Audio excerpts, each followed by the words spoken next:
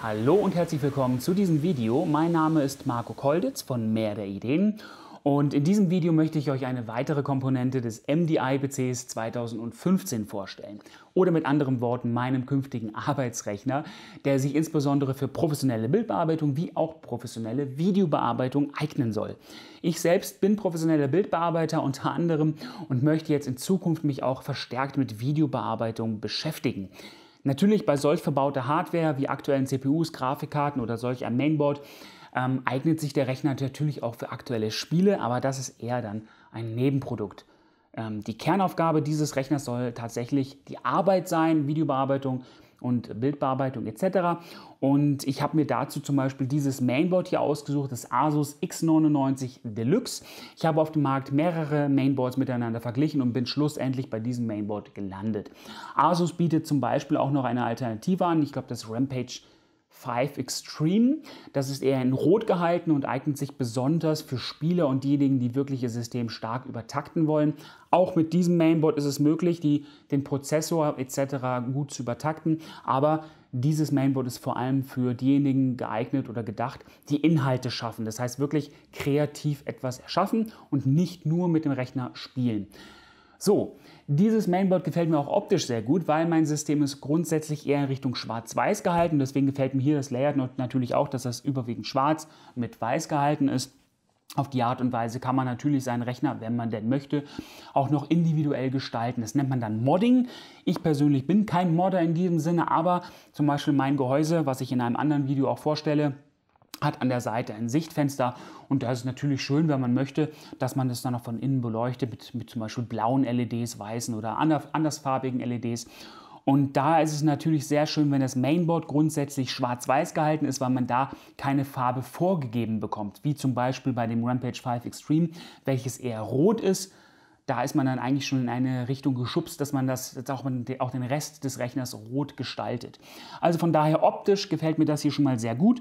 Und für diejenigen, die sich mit solchen technischen Geräten eigentlich noch nicht so gut auskennen, für die erscheint so ein Mainboard natürlich wie ein Buch mit sieben Siegeln. Man schaut drauf und denkt sich, oh, was ist das denn? Was sind das denn alles für verschiedene hier Schächte und versteht man gar nicht. Ja, aber wenn man sich jetzt mit Mainboards wirklich mal in, äh, intensiver beschäftigt, dann weiß man wirklich, wirklich zu schätzen, was sich hier die Ingenieure bei diesem Mainboard so gedacht haben. Das wirkt sehr aufgeräumt und dem Benutzer stehen wirklich vielfältige Möglichkeiten zur Verfügung, um zum Beispiel Festplatten anzuschließen oder halt auch die Lüfter zu steuern etc. Aber darauf gehe ich jetzt auch mal ein. Also, das ist ein Mainboard für den aktuellen Intel X99 Chipsatz. Und dementsprechend befindet sich hier oben auch ein Sockel, und zwar der 2011 V3-Sockel, der natürlich für die aktuellen Intel-Prozessoren gedacht ist, wie unter anderem für das aktuelle Flaggschiff, den 8-Kerner i7 5960X, den ich auch in diesem Rechner verbauen werde. Und auch dazu habe ich ein separates Video, wo ich euch diesen Prozessor noch näher vorstelle. Dieser Prozessor hat auf der Rückseite 2011, deswegen so heißt ja im Grunde genommen dann auch dieser Sockel 2011 Kontaktflächen und hier am Mainboard unterhalb dieser Plastikabdeckung befinden sich entsprechende Gegenstücke, das heißt solche kleine Pins, wo man dann im Grunde genommen den Prozessor drauflegt und somit werden dann diese Pins mit diesen Kontaktflächen auf dem Prozessor verbunden. Die Referenzdesigns von, den Intel, äh, von dem Intel x99 Chipsatz, die haben aber hier zum Beispiel keine 2011 Pins so gesehen verbaut. Asus hat sich dabei gedacht, wir machen aber diese 2011 Pins. Das sieht man hier zum Beispiel auf der Rückseite. Da sieht man zum Beispiel hier den klassischen 2011 V3 ähm, Sockel. Und da sieht man, dass hier oben an den Ecken zum Beispiel die einzelnen Pinne so gesehen fehlen. Die wurden einfach ausgelassen und die wurden von Asus wieder hinzugefügt und da nennt Asus dann Asus OC Sockel. Das heißt ein äh, Sockel, der speziell auch für, fürs Übertakten gedacht ist. Und Asus spricht davon, dass man dann mit Hilfe dieser zusätzlichen Pinne sozusagen, die sie wieder hinzugefügt haben, bessere Übertaktungsergebnisse erzielt. Intel wiederum sagt, ja, wenn ihr das macht, dann verliert ihr die Garantie an dem Prozessor. Asus hingegen ist sich aber so sicher, dass nichts passiert, dass sie sagen, okay, wenn wirklich was mit dem Prozessor dann kaputt ist, dann übernehmen wir die Garantie. Also von daher seid ihr ohnehin auf der sicheren Seite. Ich persönlich habe jetzt bis jetzt auch keinen Fall erlebt, wo irgendwas kaputt gegangen ist, also von daher vertraue ich da auch Asus. Gut, also das ist der neue 2011 V3-Sockel für die aktuellen Haswell E-Prozessoren von Intel. Links und rechts daneben befinden sich entsprechend die Arbeitsspeicherbänke. Und auch hier ist wieder ein neuer, eine neue Technik von Arbeitsspeichern auf den Markt gekommen dieses Jahr, und zwar der DDR4-Speicher. Der ist um einiges schneller als der klassische DDR3-Speicher, der bis jetzt aktuell war und aber auch entsprechend jetzt teuer ist. Das heißt, DDR4-Speicher ist erstens momentan relativ schwierig zu bekommen, wird also in relativ kleinen Stückzahlen momentan hergestellt. Und wenn man ihn bekommt, dann ist er wirklich auch noch momentan, naja, ich sag mal schon exorbitant teuer. Aber man bekommt dafür auch wirklich richtig Leistung.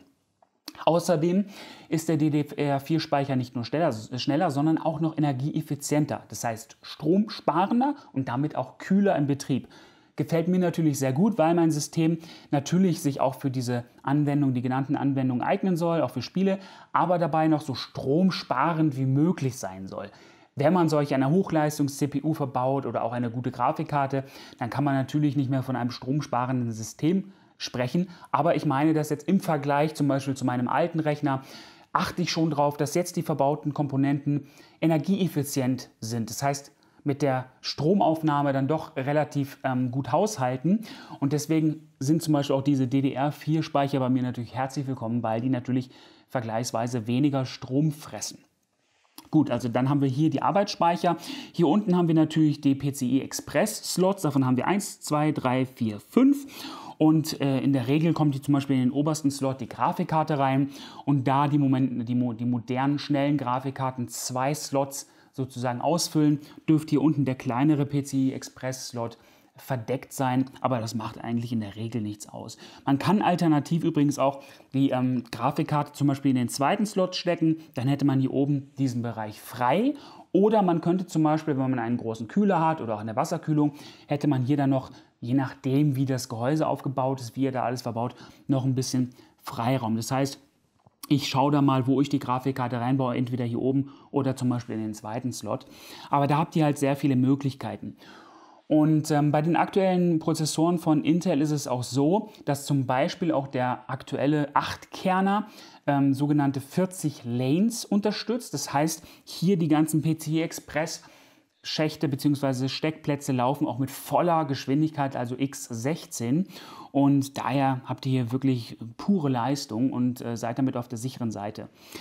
Gut, Natürlich haben wir jetzt auch hier oben noch die Chipsatz, die, also die, die Chips von dem Chipsatz. Hier oben zum Beispiel die North Bridge, hier unten die South Bridge. Und die haben halt auch diese schöne helle weiße Abdeckung und entsprechende passive Kühlkörper und diese sind miteinander über Heatpipes verbunden. Das heißt, wenn diese Chips warm werden, dann verbreitert oder dann, dann verteilt sich die Wärme über diese Heatpipes zu den anderen passiven Kühlkörpern und das gefällt mir vom Designer, vom Layout her schon mal sehr gut. Es gibt zum Beispiel auch hier auf der Rückseite vom Mainboard bei den Anschlüssen vom USB und so weiter. Ebenfalls hier diesen passiven Kühlkörper, der sozusagen über diese genannte Heatpipe, wie man hier oben sieht, zum Beispiel mit diesem Kühlkörper wiederum verbunden ist. Dasselbe hier oben, äh, hier unten ebenfalls mit einer Heatpipe mit diesem Kühlkörper verbunden und dadurch bleibt der Chipsatz schön kühl. Normalerweise, beziehungsweise die meisten äh, Nutzer verbauen zum Beispiel eine Luftkühlung. Das heißt, hier oben auf dem Prozessor ist ein massiver, großer Kühler mit sich rotierenden Lüftern und diese belüften normalerweise auch die Kühlkörper in direkter Umgebung, das heißt in diesem Fall den Chipsatz. Und ich persönlich verbaue aber eine Wasserkühlung, das heißt man hat hier einen kleinen schönen Wasserkühler und dann entsprechend die Schläuche. Das heißt, hier gibt es bei mir nicht direkt einen Lüfter. Allerdings habe ich Gehäuselüfter und die sorgen dann im Grunde genommen trotzdem für genügend Luftdurchzug, sodass ich mir hier auch äh, keine Probleme erhoffe, beziehungsweise ich werde da keine Probleme erwarten, dass die irgendwie warm werden. Also hier schon sehr schön durchdacht und auch vom Design her sehr schön gelöst. Außerdem bietet dieses Mainboard auch Onboard Sound. Ich bin persönlich gar kein Freund von Onboard Sound. Früher war das grausam, heute ist es schon ein bisschen besser. Das heißt wahrscheinlich die Lösung, die hier verbaut ist, macht schon schönen Sound, allerdings garantiert nicht zu vergleichen mit nativen Soundkarten, die man dann hier in einen PCI Express Slot verbaut. Da hat man erstens einfach einen besseren Ton. Außerdem wird auch die, ähm, die Berechnung von dem Prozessor etwas zurückgenommen. Das heißt, der Prozessor wird entlastet, weil der normalerweise bei Onboard Sound auch ein bisschen was von den Berechnungen übernimmt. Das heißt, hier empfehle ich euch in der Regel nutzt lieber eine native Soundkarte, die ihr einsteckt und schaltet einfach den Onboard Sound aus. Allerdings, wenn ihr zum Beispiel einen Rechner baut, der nicht unbedingt Hochleistungs ähm, ein, nicht unbedingt ein Hochleistungsrechner sein muss oder sich unbedingt für die besten Spiele und die schnellsten Spiele ähm, eignen soll, dann könnt ihr im Grunde genommen auch diesen Onboard-Sound verwenden, falls ihr zum Beispiel eher mit Office arbeitet etc. Aber gut, in der Regel kauft ihr euch dann, äh, kaufen diese Personen so gesehen sich dann nicht so ein ähm, Hochleistungs-Motherboard. Und deswegen, wie gesagt, ich würde sagen, schaltet den Onboard-Sound aus und verwendet eher eine native Soundkarte. An der Rückseite sieht man hier auch entsprechend die Eingänge bzw. die Ausgänge zum, äh, von dem Onboard-Sound, unter anderem auch einen Toslink-Ausgang, also einen optischen Ausgang, was ich persönlich schon schön finde. Aber es ändert nichts daran, dass ich sage, nein, Onboard-Sound, nein. So. Ja, schauen wir uns am besten nochmal die Rückseite direkt an. Hier haben wir zum Beispiel auch USB-Anschlüsse, und zwar USB 3.0 Und zwar 2, 4, 6, 8, 10 Anschlüsse. 10 USB 3.0 Anschlüsse auf der Rückseite und nochmal zwei USB 2.0 Anschlüsse. Warum noch USB 2.0? Nun, es gibt auch Hardware, zum Beispiel auch Mäuse oder Tastaturen, die nicht so wirklich zurechtkommen mit USB 3.0 Anschlüssen. Vor allem, wenn man sich noch nicht in Windows befindet, sondern zum Beispiel beim Starten des Rechners mal eben kurz schnell die Entfernen-Taste drücken möchte, um ins BIOS zu kommen. Da gibt es teilweise Hardware, die da eher auf USB 2.0 steht, sage ich mal. Und deswegen sind hier noch diese Anschlüsse vorhanden. Außerdem natürlich LAN-Anschlüsse, also Netzwerkanschlüsse, und zwar zwei Stück. Und da machen es manche Personen im Grunde genommen so, oder äh, manche Nutzer, sage ich mal, dass sie zum Beispiel einen Netzwerkanschluss äh, fürs Internet benutzen. Das heißt, dieses Kabel kommt dann direkt in den Router hinein und bei dem anderen Netzwerkanschluss wird zum Beispiel, sagen wir mal, das Heimnetzwerk angeschlossen oder zum Beispiel eine Festplatte im Netzwerk, wo ihr Musik drauf habt, Bilder oder Filme. Und dadurch ist dann im Grunde genommen das öffentliche Internet vom privaten Heimnetzwerk zu Hause getrennt. Finde ich eigentlich eine gute Lösung. Mal schauen, ob ich das bei mir auch so mache. Generell habe ich persönlich immer nur einen Anschluss benutzt und den anderen Anschluss über das BIOS so gesehen deaktiviert. Übrigens BIOS, man kann in dem BIOS, in diesem Fall im UEFI BIOS, das heißt, das könnt ihr mit der Maus bedienen, sieht dann aus wie in Windows ungefähr. Ähm, natürlich nicht von der Windows-Oberfläche, aber von der, von der Bedienungsart sozusagen. Sehr schön gelöst. Dort könnt ihr natürlich viele Funktionen von dem Mainboard äh, aktivieren wie auch deaktivieren. Das heißt, zum Beispiel, wenn ich weiß, ich benutze nur einen einzigen Netzwerkanschluss, dann deaktiviere ich den anderen einfach. Das, das spart ein bisschen Strom. Und auch bei dasselbe bei dem Onboard-Sound. Da sage ich einfach Onboard-Sound, nein, bitte deaktivieren. Und schon kommt das auch bei Windows so rüber, beziehungsweise Windows sagt, okay, hier gibt es gar keinen Onboard-Sound und dementsprechend wird zum Beispiel auch kein Treiber gesucht und so weiter. Das heißt, deaktiviert einfach all das, was ihr tatsächlich nicht nutzt. Und wenn ihr später doch nochmal nutzen möchtet, könnt ihr es ja wieder aktivieren.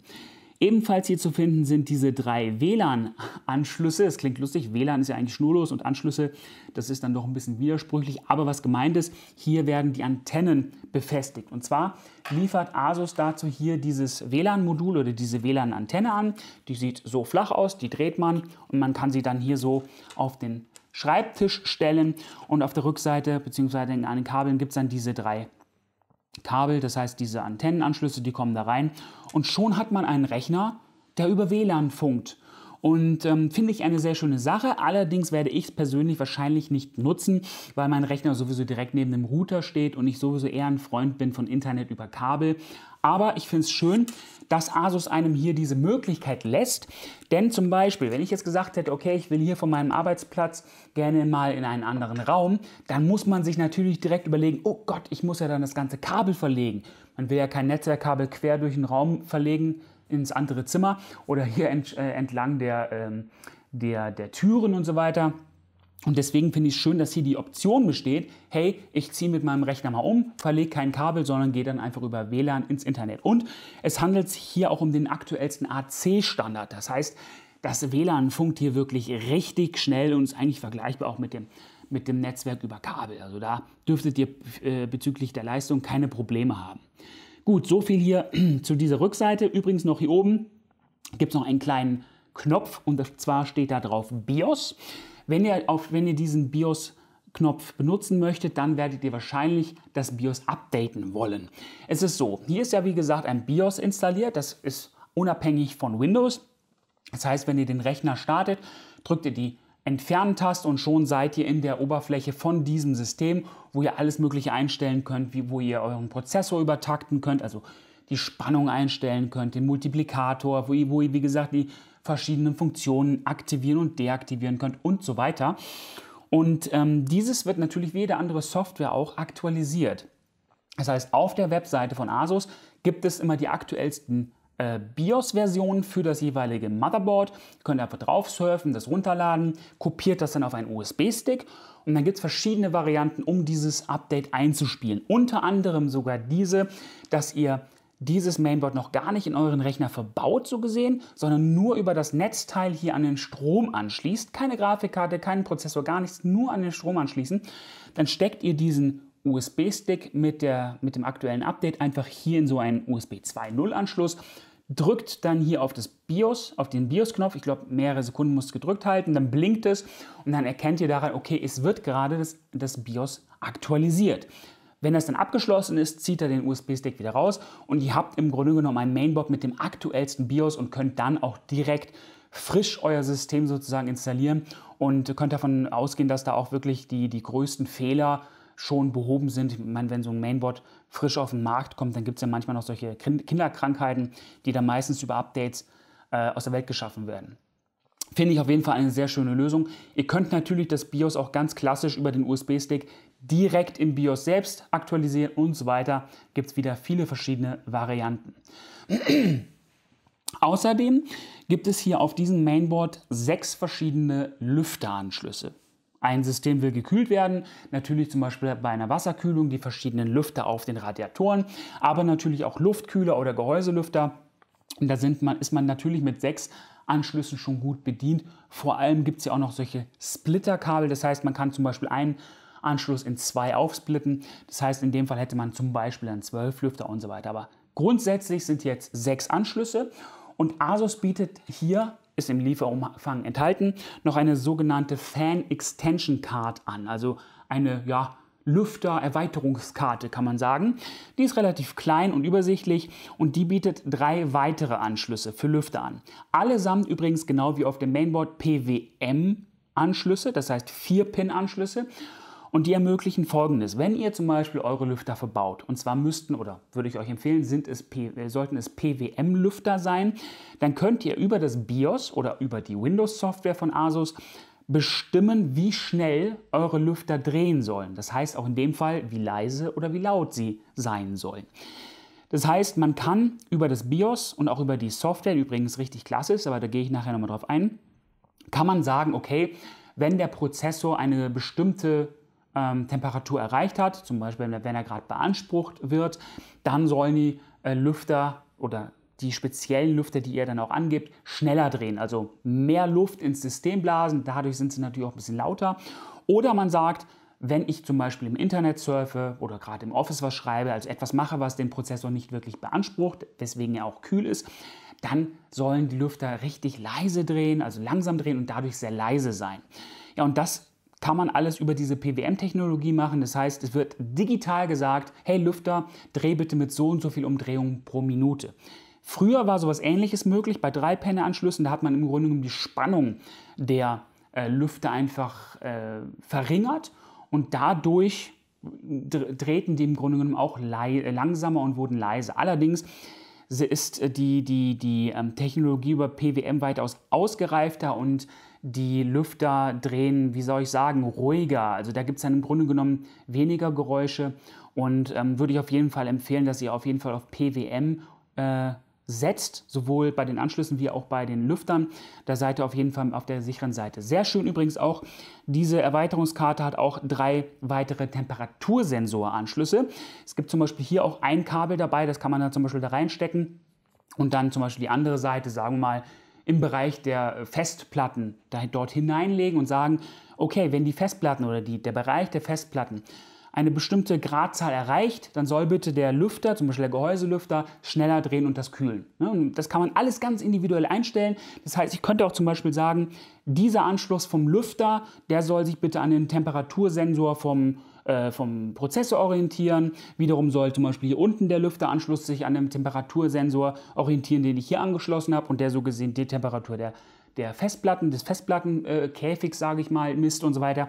Da könnt ihr alles ganz individuell einstellen. Und ganz schön ist auch im Grunde genommen, dieses Mainboard hat sechs Anschlüsse und wenn ich diese Erweiterungskarte hier über diesen Anschluss mit dem Mainboard verbinde, dann ist das für das BIOS und auch für Windows und so weiter und so fort so, als wäre dies ein Mainboard mit neun Anschlüssen. Also es ist nicht so, dass da steht 6 plus 3 oder 6 plus, wenn das zum Beispiel als ein Anschluss dann erkannt werden würde, 6 plus 1. Nein, es sind dann einfach neun Anschlüsse auf dem Mainboard. Also es geht so gesehen nahtlos ineinander über mit diesem Mainboard und das finde ich sehr schön gelöst.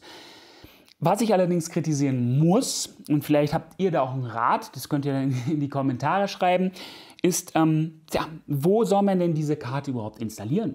Das hat, die hat zum Beispiel keine so eine typische Metallblende, dass man die vielleicht im Grunde genommen dort, wo man auch die Grafikkarte reinsteckt, dass man die dort befestigt. Oder irgendeine anderen, irgendeinen anderen Hinweis habe ich auch nicht gefunden. Also weder im Handbuch noch auf der Webseite, wo man diese Karte installiert. Diese Karte hat hier zwei Löcher, das heißt, da kann man Schrauben reindrehen. Aber ich habe wirklich im ganzen Gehäuse auch bei mir überlegt, okay, gibt es da irgendeine Norm? Wo hat jetzt Asus sich gedacht, wo man diese befestigen soll? Wenn ich mir das so angeschaut habe, habe ich gedacht, okay, der Abstand könnte ungefähr dem Abstand entsprechen, äh, die auch zum Beispiel Laufwerksschächte haben, zum Beispiel CD-ROMs oder Blu-ray-Brenner. Ne, der Abstand von den Schrauben an der Seite habe ich gedacht, okay, wenn man da einen freien Slot hat, könnte man die ja im Grunde genommen dann dort dran schrauben. Aber das hat nicht funktioniert. Was vielleicht noch sein könnte, aber da habe ich, das habe ich persönlich noch nicht getestet, ist, dass vielleicht dieser Abstand dieser Schrauben denen von dem Abstand bei ähm, Festplatten entspricht. Das heißt, man könnte die vielleicht in den Festplattenkäfig reinschrauben oder so, ich weiß es nicht. Aber grundsätzlich finde ich es schade, dass Asus hier keine Hilf Hilfestellung leistet. Es ist weder, weder ein Informationszettel dabei, noch im Handbuch steht irgendwas darüber, noch auf der Webseite. Das heißt, hier ist man natürlich dann als Bastler selbst gefragt. Notfalls sollte man dann einfach die zwei Löcher, wenn man es dann wirklich verwenden will, ins Gehäuse hineinbohren und dann äh, auch direkt dort platzieren, wo man es haben will. Aber wie gesagt, ich hätte mir gewünscht, Asus hätte hier irgendwie eine Anleitung gegeben, wo das Ding denn überhaupt hin soll. Und ähm, ja, so viel zu dem Thema Lüfter. Außerdem bietet natürlich dieses Mainboard auch Anschlüsse für Festplatten, nämlich ein Rechner ohne Festplatten wäre wär natürlich nichts. Ob nun magnetische Festplatten oder moderne SSD-Festplatten.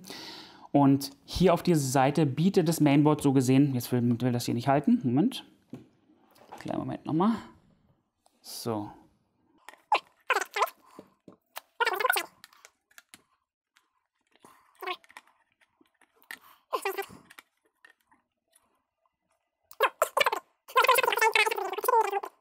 So, das Mainboard steht wieder und jetzt können wir uns auch mal hier die Anschlüsse kurz anschauen mit den SATA 6 Gigabit Anschlüssen.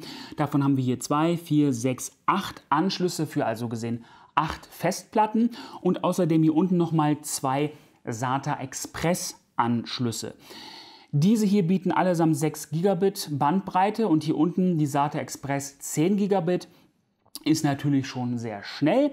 Alternativ kann man natürlich übrigens auch hier diese vier SATA 6, 6 Gigabit Anschlüsse auch als, als solche verwenden. SATA Express ist im Grunde genommen nichts anderes, als dass so gesehen zwei SATA, SATA 6 Gigabit Anschlüsse miteinander gekoppelt werden. Aber hier stehen im Grunde genommen dann dem Nutzer wieder viele Möglichkeiten zur Verfügung. Entweder 2, 4, 6, 8 Anschlüsse über SATA 6 Gigabit oder wenn man die unten noch dazu nimmt, hat man im Grunde 2, 4, 6, 8, 10, 12 Anschlüsse. Also satt und genug für Festplatten. Ich persönlich werde zum Beispiel drei SSD-Festplatten verwenden. Die sind halt sehr leise, sind sehr leicht, die sind, werden überhaupt nicht warm und die sind mucksmäuschenstill und pfeilschnell. Das heißt, ich werde hier drei SSDs anschließen und zwar im RAID 0 Verbund. Was heißt das? Nun, ich habe zum Beispiel äh, drei SSD-Festplatten mit jeweils 1 Terabyte Speicherkapazität. Und wenn man die dann über ein RAID 0 miteinander, miteinander verbindet, dann erscheinen diese drei Festplatten sozusagen als eine. Das heißt in diesem Fall eine große 3 Terabyte Festplatte, die entsprechend aber nochmals schneller läuft. Denn wenn zum Beispiel eine Datei gespeichert wird oder auch geladen wird, dann wird dieser Schreib- oder Lesezugriff auf alle drei Festplatten so gesehen verteilt. Das heißt, sie teilen sich im Grunde um die Aufgabe und damit sind sie im besten Fall dreimal so schnell. Diese dreifache Geschwindigkeit kommt natürlich in der Praxis meistens nicht zustande, aber auf jeden Fall ist es unglaublich schnell. SSDs ähm, beziehungsweise die, die ich jetzt auch verbaue, die schaffen ungefähr 500 bis 550 Megabyte pro Sekunde. Nicht theoretisch, sondern wirklich praktisch. Und wenn ich jetzt so gesehen drei damit verbinde, schätze ich, komme ich auf jeden Fall über 1 GB pro Sekunde, vielleicht sogar 1,1, 1,2 GB pro Sekunde. Ähm, das sorgt nochmal für reichlich Geschwindigkeit. War aber von mir tatsächlich gar nicht die hauptsächliche Intention. Ich wollte nur einfach eine zusammenhängende 3 Terabyte Festplatte statt 3 mal 1 Terabyte Festplatten. Und deshalb werde ich das jetzt dann auch so natürlich machen. Hier passen natürlich auch entsprechend dann die Anschlüsse für zum Beispiel Blu-ray-Brenner oder für ein CD-ROM oder sowas dran. Also hier gibt es wieder viele schöne verschiedene Varianten. Außerdem hat Asus sich auch überlegt, okay, wir verbauen jetzt einfach noch einen neuen Anschluss für weitere Festplatten und zwar für sogenannte M2X4 Festplatten. Das ist dieser kleine Anschluss hier an der Seite. Das ist auch wieder eine neue Technologie von SSDs. Die sind noch relativ teuer und noch nicht so weit verbreitet. Die schaffen ebenfalls 10 Gigabit pro Sekunde, im Grunde genommen wie SATA Express auch. Und die kann man zum Beispiel hier einfach reinstecken. Die sind im Grunde genommen dann so hochkant hier am Mainboard. Dazu gibt es dann zum Beispiel auch diese kleine Halterung, damit die ähm, SSD dann entsprechend stabil steht. Die schraubt man hier dran, steckt die rein und hat dort eine pfeilschnelle SSD dann direkt an Bord. Alternativ gibt es von Asus auch ebenfalls im Lieferumfang enthalten diese PC Express Karte. Die hat ebenfalls wieder hier so einen Anschluss, der ähnelt diesem hier ziemlich und dort wird dann im Grunde genommen auch wieder eine M2 X4 SSD reingesteckt, wird dann einfach hier in so einen PCI-Slot reingesteckt. Da hat man dann entsprechend schnelle Transferraten auch für diese neue SSD-Technologie. Aber wie gesagt, die sind noch vergleichsweise teuer und ähm, mir gefällt tatsächlich die Lösung über SATA 6 Gigabit momentan noch besser, vor allem, weil man hier tatsächlich auch ein RAID 0 verwenden kann. Gut, gibt es noch was zu sagen zum Layout? Hier unten gibt es natürlich zum Beispiel auch noch weitere übrigens USB 3.0 Anschlüsse für euer Gehäuse. Manche Gehäuse bieten ja vorne nochmal separate Anschlüsse von USB an, zum Beispiel USB 3.0 oder auch und oder auch USB 2.0 Anschlüsse und da bietet Asus hier auf diesem Mainboard so gesehen zwei Anschlüsse nochmal für USB 3.0 an, die jeweils aber dann nochmal zwei Anschlüsse für, für USB 3.0 vorne anbieten. Das heißt, neben den 10 USB 3.0 Anschlüssen hinten gibt es hier nochmals vier USB 3.0 Anschlüsse. Man kommt also auf 14 USB 3.0 Anschlüsse, wenn man jetzt tatsächlich noch den Anschluss vorne am, äh, am Gehäuse mit hineinzieht. Allerdings wenn man zum Beispiel jetzt 14 externe Festplatten anschließt, die allesamt gerade auf voller Pulle und auf voller Leistung laufen und so gesehen diese volle USB 3.0 Bandbreite eigentlich benötigen, wird das nicht funktionieren. US äh, Asus hat sich hier entschieden, eher auf viele Anschlüsse zu setzen, also viele USB 3.0 Anschlüsse, anstelle hier tatsächlich für jeden einzelnen Anschluss die volle Leistung zur Verfügung zu stellen, wenn alle auch gleichzeitig benutzt werden. Das heißt, wenn ihr zwei, drei, vier Geräte angeschlossen habt, die gerade auf voller USB 3.0 Geschwindigkeit laufen, das geht ohne Probleme. Allerdings nicht, wenn ihr jetzt alle 14 belegt und dann, mit der, und dann noch mit der vollen Geschwindigkeit rechnet. Das geht in dem Fall nicht. Und mir persönlich gefällt diese Lösung besser, weil ich lieber mehrere Geräte verwende und auch eigentlich nie alle Geräte gleichzeitig mit voller Geschwindigkeit benutze. Also von daher hier auch schön gelöst. Gut, ähm, schauen wir jetzt, jetzt nochmal an, was noch bei dem Paket dabei liegt. Und zwar haben wir natürlich hier SATA-Kabel, das heißt Festplattenkabel. Und zwar sind davon acht beigelegt. Und zwar jeweils vier sind folgendermaßen aufgebaut. Der eine Stecker ist gerade raus und der andere Stecker geht um die Ecke, also um 90 Grad gedreht. Je nachdem, wie ihr eu euer System aufbaut, kann das sehr hilfreich sein. Das andere Kabel ist in, an beiden Seiten geradeaus. Wie gesagt, davon gibt es jeweils vier und das dürfte eigentlich ausreichen. Ist ebenfalls in schwarz-weiß gehalten, was mir persönlich sehr gut gefällt. Ist somit auch sehr schön einheitlich. Und ja, damit sind wir im Grunde genommen dann jetzt schon mal bezüglich der Hardware hier durch. Was mir aber auch besonders gut gefällt, ist auch die Softwarelösung von Asus. Asus bietet zum Beispiel ein Programm an, mit dem man auf ganz einfache Art und Weise seinen Prozessor und auch zum Beispiel den Arbeitsspeicher und so weiter übertakten kann, wenn man denn möchte. Nur als Beispiel, der i7 5960X Prozessor, das heißt der 8-Kerner von Intel, läuft grundsätzlich mit einer Geschwindigkeit von 3,0 GHz. Das ist vergleichsweise wenig. Allerdings muss man sich überlegen, 8 mal 3,0 GHz oder wenn man das Hyperthreading noch hinzurechnet, 16 mal 3,0 GHz, aber mehr dazu dann im jeweiligen CPU-Video zu dem Prozessor halt. Und ähm, mit dieser Software kann man diesen Prozessor ganz einfach in 5 bis 12 Minuten, sagen wir mal eine Viertelstunde, gut, übertakten. Und zwar habe ich da sehr viele Beispiele gesehen, wo man diesen Prozessor von 3 GHz auf 4 oder 4,1, 4,2, 4,3 GHz übertakten kann. Manche schaffen sogar 4,4 GHz. Und das Total einfach. Bei der Software, die startet man und dann kriegt man einige Fragen, also man kann einige Dinge einstellen, aber auch alles vollautomatisiert ablaufen lassen. Und zwar überprüft diese Software das individuelle System. Also euer individuelles System wird überprüft. Es gibt also keine festen Profile, wo gesagt wird, ja, der Rechner kommt in etwa diesem Profil nahe oder diesem Profil und deswegen werden wir dieses aktivieren. Nein, es wird wirklich geguckt, wie weit man bei eurem System bei der Übertaktung gehen kann. Fand ich unglaublich klasse. Ich habe mich da wirklich eingehend informiert und da war ich wirklich beeindruckt, weil normalerweise, wenn man einen Prozess übertaktet, das hat früher Tage oder Wochen gedauert und sehr viel Know-how äh, hat, hat das bedurft. Das heißt, man musste wirklich gucken, welche Spannung muss man einstellen, äh, stellen, welchen Multiplikator muss man muss dann aufpassen, dass auch der Arbeitsspeicher damit macht und so weiter. Und das übernimmt jetzt einfach komplett die Software. Und alle Einstellungen, die die Software da macht, die sind wirklich hardware-seitig dann eingestellt. Das heißt, selbst wenn ihr die Software deinstalliert, ist immer noch alles eingestellt und euer System übertaktet. Zum Beispiel, ihr startet das Programm, und sagt beispielsweise, okay, ich möchte, dass der Prozessor nicht heißer wird als 80 Grad. 80 Grad ist noch völlig in Ordnung.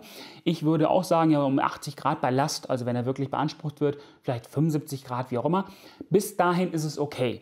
Dann macht diese Software einige Tests, also setzt diesen Prozessor unter Stress und da kann man auch einstellen, ob das jetzt 15 Minuten gehen soll, 5 Minuten oder eine halbe Stunde oder sogar eine Stunde wie ihr halt wollt. Und dann wird geschaut, wie weit kann man mit der Übertaktung gehen. Und irgendwann wird dann das System abstürzen. Keine Angst, es gibt dann einen schönen Bluescreen unter Windows. Das System startet neu, das System ist somit abgestürzt. Aber die Software hat das registriert und geht dann zwei Schritte zurück. Das heißt zum Beispiel, seid ihr gerade bei 4,5 GHz, denkt euch, wow, 4,5 GHz, toll, Bluescreen abgestürzt, zack.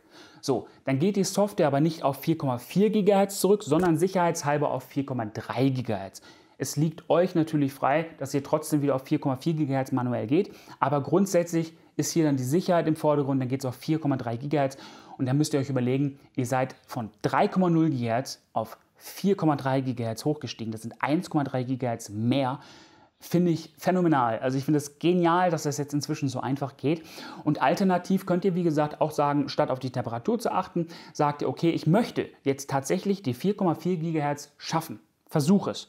Ja, und die Software versucht es dann, die nimmt natürlich dann, ähm, die, die berücksichtigt natürlich dann auch eure, eure Belüftung, ob ihr jetzt Luftkühlung macht, Wasserkühlung, stellt alles ein. Und über diese PWM Anschlüsse der Lüfter, habe ich ja vorhin erzählt, werden ja die Lüfter kontrolliert und dementsprechend werden auch die Lüfter kalibriert und getestet, wann, wie, wo der beste Airflow erreicht wird und so weiter. Ja, und dann wird individuell nach eurem System geguckt, wie kann man dieses System schön übertakten. Das ganze, das ganze Thema ist noch ein bisschen äh, komplexer. Ich möchte euch jetzt nicht die komplette Software im Detail erklären, aber das müsst ihr euch echt mal anschauen. Guckt auch mal bei YouTube bei diesem zu diesem Thema mal vorbei. Das ist wirklich sehr intuitiv gemacht und ich war da wirklich beeindruckt und wahrscheinlich mache ich das bei meinem System auch so, dass ich den nicht bei 3,0 GHz laufen lasse, sondern vielleicht tatsächlich auf sagen wir mal 4,1 GHz gehe, denn ich möchte auch noch ein relativ kühles System haben, weil der Rechner leise sein soll. Übrigens, wenn ihr einen Prozessor übertaktet, dann frisst er auch mehr Strom. Das müsst ihr auch immer bedenken, dass der Stromverbrauch geht wirklich in die Höhe und der Prozessor wird entsprechend wärmer. Das heißt, wenn ihr eine Wasserkühlung verwendet und ihr verwendet eine, damit der Rechner leiser ist, dann könnt ihr natürlich den Prozessor übertakten, aber ab einer gewissen Höhe der Übertaktung wird das System heißer, die Lüfter drehen schneller und werden dementsprechend lauter. Da müsst ihr für euch dann einfach den Kompromiss finden, mit dem ihr dann leben könnt. Also ich werde da auf jeden Fall schauen, dass das System leise bleibt, so leise wie möglich, aber der Prozessor natürlich so schnell wie möglich ist. Denn vor allem bei Videobearbeitung ist jedes äh, jeder Megahertz oder jedes Gigahertz mehr natürlich pures Gold wert und vor allem auch jeder äh, Prozessorkern. Ja, so viel zu diesem Mainboard. Also ich bin sehr gespannt. Ich habe, wie gesagt, noch gar keine Hardware hier zusammengebaut. Also ich habe natürlich schon Rechner gebaut, aber die Hardware für diesen MDI-PC 2015 ist hier noch einzeln äh, verpackt. Ich werde jetzt erstmal die ganzen Videos produzieren und natürlich auch die Artikel in meinem Blogmagazin unter www.mehrderideen.de. Schaut einfach mal vorbei. Der YouTube-Kanal ist grundsätzlich ab jetzt eng mit meinem Blogmagazin gekoppelt und deswegen lohnt es sich auf jeden Fall mal vorbeizuschauen. Gibt es Reviews, da gibt es News und auch Tutorials etc. Schaut einfach mal vorbei. ja, grundsätzlich war es das zu diesem Mainboard. Wie gesagt, optisch gefällt es mir. Mir gefällt diese, das durchdachte Layout sehr gut, vor allem weil es sehr aufgeräumt ist und vom optisch auch sehr gut gefällt.